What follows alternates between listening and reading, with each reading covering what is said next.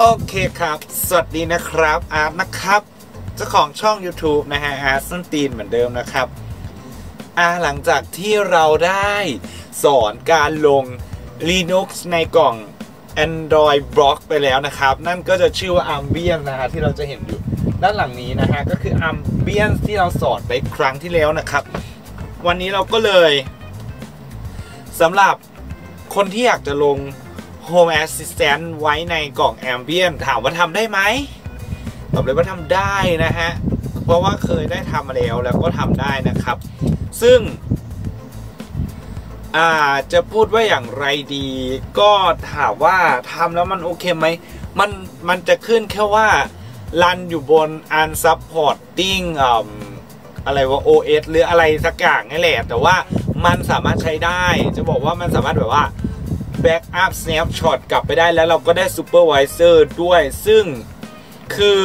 ตอนที่อาร์ตทำพยายามทำกับพวก QNAP เนี่ย มันไม่ได้ Supervisor ถ้าจะเป็น Supervisor มันจะต้องเป็นพวก Synology ซึ่งเราก็เลยแบบว่า เออ เอายังไงดีพอเราเห็นอันนี้มันลง Linux ได้นั่นแหละคือหนึ่งความคิดแรกที่ว่า เออ เราอยากลง Supervisor ไว้ในแบบตัวอื่นบ้างนะ ตอนนี้เราลงอยู่ใน คือเราลงอยู่ใน VM ที่อยู่ใน QNAP ซึ่งเรารู้สึกว่ามันก็กินทรัพยากรแบบ NAS เยอะแต่จริงๆอะ NAS ก็ไม่ได้ทำอะไรหรอก แต่ว่าเอาง่ายๆว่าเราอะอยากหาเรื่องเฉยๆ ซึ่งเดี๋ยวเราจะมาสอนลงตัว Home Assistant กันละกันนะครับว่า ลงอะไรยังไง ให้มันได้นะครับ ซึ่งตัว ARM ARM b r i a n เนี่ยก็จะอยู่ในวัตกรรม ARM ใช่ไหมครับ ก็จะใช้เป็น ARM v6 ของอตัว Home Assistant เนาะซึ่งเราก็งมอยู่ประมาณ2วันนะฮะกว่าที่มันจะรันระบบขึ้นมาได้ ซึ่งจะมาสอนการง่ายๆ แล้วก็ดูว่าคำสั่งมันมีน้อยนิดเหลือเกินนะครับ ก็ไปไปกันเลยแล้วกันนะฮะ ซึ่งอันนี้ก็อัปเดตให้เรียบร้อยนะครับ กดใช้คำสั่งนู่นนี่นั่น สนุมตึมเปี้ยให้เรียบร้อยนะครับ ซึ่งอันนี้ก็คือมันกรีนกรีนมาเราก็เลยโอเคลงนะฮะ ก็คือ sudo i นะครับนะแล้วก็ atp get update ไปนะครับ ตามนี้นะฮะ ลงไปหรือว่าเอาง่ายๆอะเราก็ลงแบบ เราก็ทำลง open ssh แล้วก็ เออ ก็เข้าไปแบบพวกพุตตี้อะไรเงี้ยเข้าไปได้อะไรเงี้ยแต่อันนี้เราอยากให้เห็นว่า เออแล้วก็ทำแล้วก็มีข้างหลังวิ่งเพดๆอยู่แล้วก็ได้ VCN ลงไปนะครับ เดี๋ยวก็ก๊อปคำสั่งพวกนี้นะฮะ ก็คงจะทิ้งไว้ในลิงก์ข้างล่างนะครับตอนก็มีแค่เนี้ย ใส่คำสั่งประมาณนี้ลงไปแค่นั้นเอง ก็ docker ปูแล้วก็ดึงๆลงมาอย่างเงี้ย มันก็รันแล้วนะ เอาจริงอะ ซึ่งอันเนี้ยก็ อืม เนี่ยจริง ๆ มัน docker ปู home อะไรเนี่ยปุ๊บกับอันเนี้ยก็น่าจะเหมือนเหมือนกันแหละ เอาจริงๆไหม แต่เราก็ไม่รู้ว่าเออใช้อันไหนแล้วง่ายกว่ากันเดี๋ยวลองเคิร์ก่อนแล้วกันว่าเคิร์มันโอเคไหมถ้าเคิร์มันโอเคก็ผ่านเลยอะไรอย่างเงี้ยจริงๆนี่คือการแบบทดลองแบบทดลองใช้ทดลองทำของเราจริง ๆ นะแบบ เออคือจะเห็นนะว่าแบบอย่างเงี้ย เนี่ยเคิร์เนี่ย อันนี้คือกอปมาว่า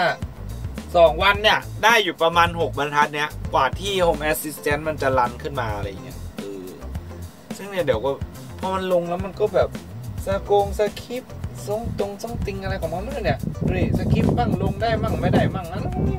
อะไรเงี้ย ซึ่งเรารู้สึกว่าเออมันก็เป็นแบบประสบการณ์แหละ จะบอกว่าเป็นประสบการณ์ละกันอันนี้คือลืมอัดเสียงแป๊บนึงเดี๋ยวอัดเสียงก่อน โอเคครับ อันเมื่อกี้อาจจะเสียง ไม่ชัด เพราะว่าเมื่อกี้ลำหน้าไปก็อาจจะเป็นเสียงในฟิล์มนะฮะอันนั้นแหละแล้วก็อันนี้ก็คือยังรันสคริปต์อยู่นะครับ ก็ไม่ได้รันสคริปต์ก็คือยังรันไอตัวที่ทำอยู่นะฮะตอนนี้ นี่รันไปนะครับ ก็ปล่อยมันรันไป ซึ่งก็ไม่รู้ว่าเมื่อไหร่มันจะรันเสร็จนะฮะ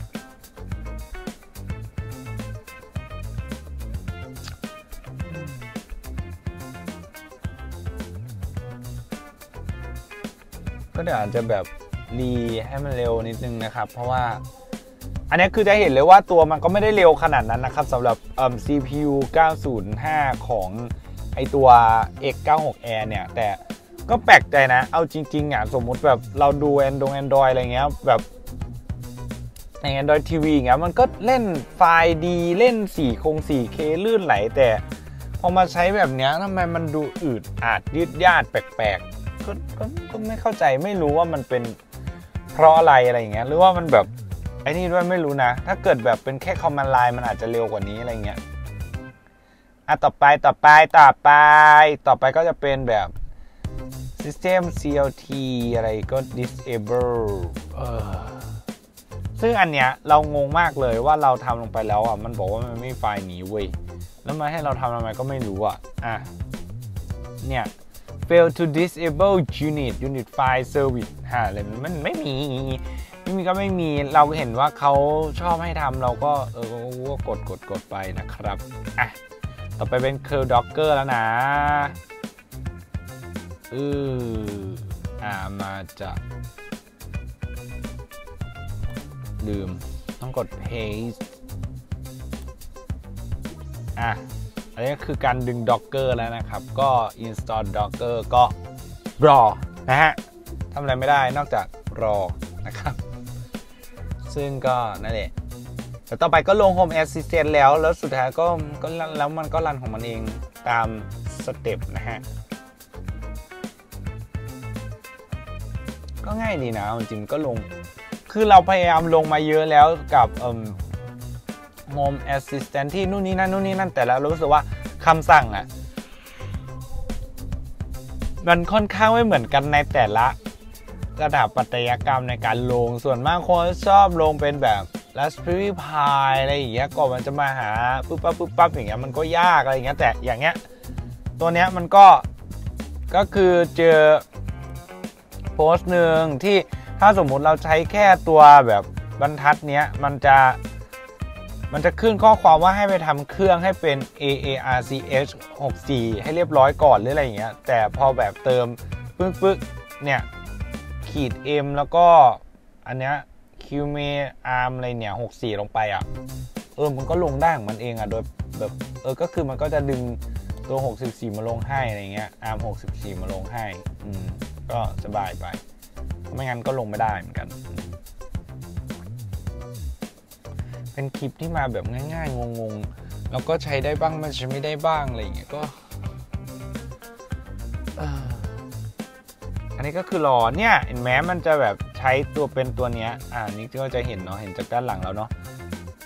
นี่นะครับก็เห็นจากในจอแล้วก็ด้านหลังแล้วกัน มันก็จะเป็น ARM 64 เมื่อกี้อยู่ไหนเนี่ย ARC เท่ากับ Architect หรือเปล่าเนี่ย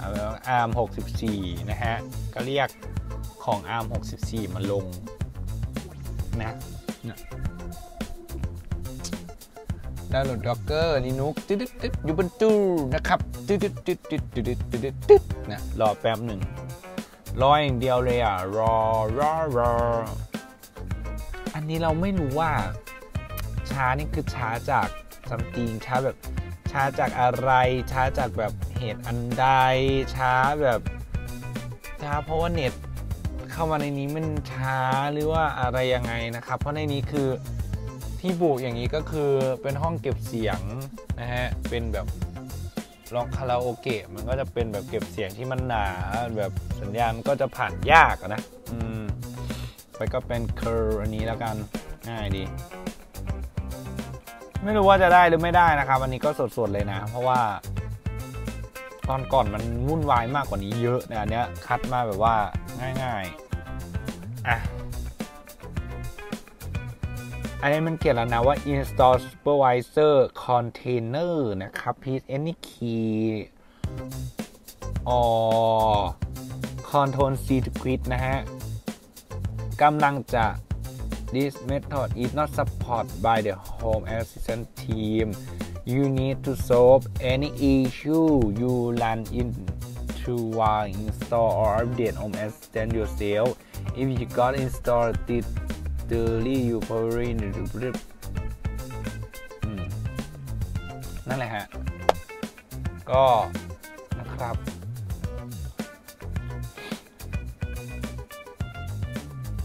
ทำไมำลัง install อยู่หรือเปล่าไม่รู้นิ่งเลยกัน แต่อันเนี้ยมันก็ประมาณ อันเนี้ยมันจะเป็นคำสั่งที่เป็นเป็น dot .sh ก็คือมันจะทำทุกอย่างให้เองโดยอัตโนมัติมั้งนะครับ ถ้าเกิดแบบเอาทำเป็นสเต็ปก็คือไปพูนั่นแหละพู home assistant อะไรอย่างเงี้ย มันก็จะลงก็ไปแท็ก home assistant อะไรเงี้ย อืม ลองดูอะเดี๋ยวนะเพราะว่ามันครั้งที่แล้วคือลงแล้วพอเช็ค docker คือแบบ docker เยอะมากเลย มาลองลุ้นกันนะฮะว่ามันจะไปถึงไหนถึงไหนบ้างเออ docker นิ่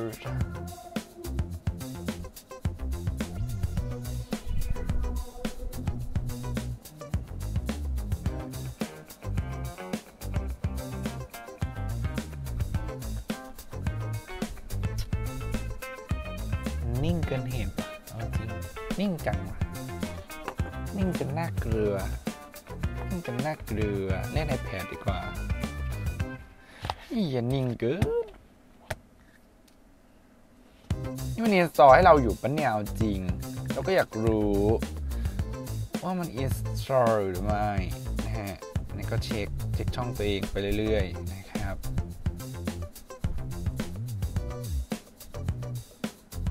คลิปเนี่ยถึงบอกว่าคลิปเราเนี่ยลงแบบว่า ไม่ได้ ตามเวลงเวลาส่งติงอะไรเลยนะจ๊ะ ก็คือลงตามใจฉันนะฮะ เนาะก็มีทั้งกระเป๋า มีทั้งเรื่อง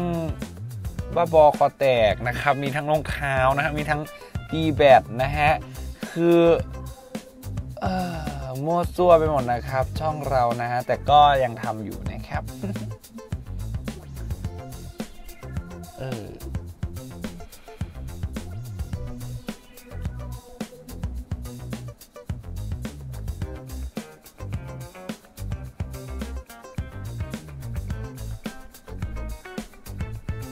ร้อยเชื่อไหมว่าน้ำตัวนี้ Home Assistant ได้ เริ่มขึ้นแล้วฮะ อ้าวไหนมันบอกว่าได้แล้ว is is c l i s a run h a ก็ h a แล้วไงแล้วไ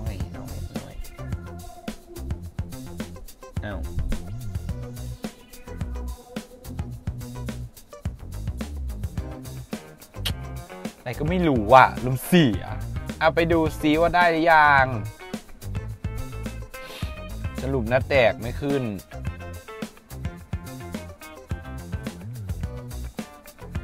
แป๊บนึงเด้อเซอร์ลองให้ดูนะครับก็คือถ้าขึ้นแล้วอะ ก็ขึ้นแล้วแหละ ก็ แล้วก็ทำตามมีตามเกิดตามยถากรรมนะฮะ ก็คือ Backup Snapshot อะไรก็ ก็ก็เอาเข้ามาได้ นะฮะแป๊บหนึ่งเช็คก่อนเปดหนึ่งสองสามกระสองหนึ่งสามแปดหนึ่งไม่ติด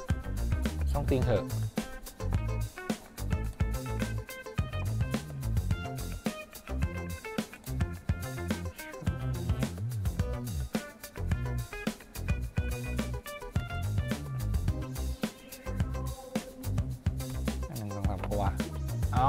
ผิดอะแป๊บนึงนะ เออชีมันติดแล้วแหละ ชื่อฉันมันติดแล้ว มันติดแล้ว มันติดแล้วบางทีมันก็มีอ่อมการลงการรันอะไรอย่างเงี้ยช้านิดนึงเอ้าไม่ติดด้วย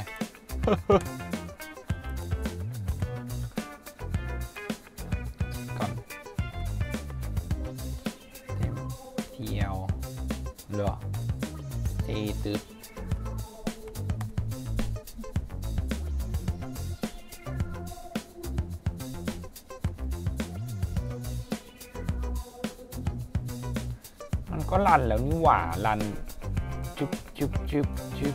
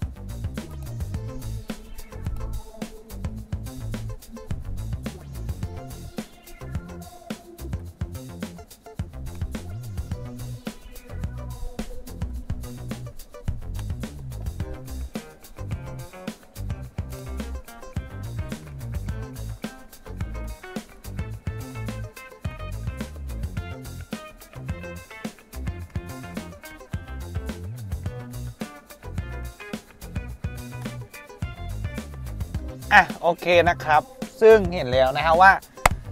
preparing home assistant เรียบร้อยนะฮะ อันนี้ก็คือ เข้าได้แล้วนะครับ เข้า Home Assistant ที่เป็น Supervisor ได้แล้วนะครับใน Linux ที่เราลงอยู่ใน Android Box ที่เรียกว่า Ambient นะครับ อันนี้ก็คือรอ 20 นาที ปกติก็ไม่ถึงหรอกก็สักพักนึงอะ แล้วเดี๋ยวมันก็จะให้ setup นู่นนี่นั่นนู่นนี่นั่น แล้วก็เอา snapshot ลงมาใช้มา backup ก็ได้นะครับ อันนี้ก็คือ 20281123 เพราะว่าตัวนี้ IP เป็น 202 นะครับ ก็วิ่งตาม IP นะฮะ 202 เนาะ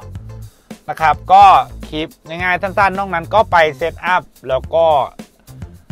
config กันเอาเองนะครับตาม สะดวกเลยแล้วเดี๋ยววันไหนง่าย ๆ เราก็จะมาสอน config อยากได้อะไรก็จริงๆ อันนึงที่คนจะพูดถึงเยอะก็คือ config remote Broadlink RM นะครับ ซึ่งจริงๆ ไม่ได้ยาก แต่ก็มีต้องมีเทคนิคกระดึกกระดึกนิดนึงนะฮะสำหรับในการที่จะเข้าไปดูนะครับ ซึ่งต้องเป็น supervisor ด้วยนะ เพราะว่ามันจะต้องเปิดแซมบ้าเข้าไปในในตัวที่ดูโค้ดอะไรเงี้ยแล้วมันยุ่งยากในการจับโค้ดนิดนึงนะครับกับรีโมท ก็เดี๋ยวไว้มาดูแล้วกันนะฮะ ถ้ามีโอกาสได้ทำนะครับ ยังไงวันนี้ขอลาไปก่อนนะครับอาต้องไปแล้วนะฮะ ฝากช่องอาร์ตส้นตีนไว้ด้วยนะครับ วันนี้ยังไงสวัสดีครับบ๊ายบายนี่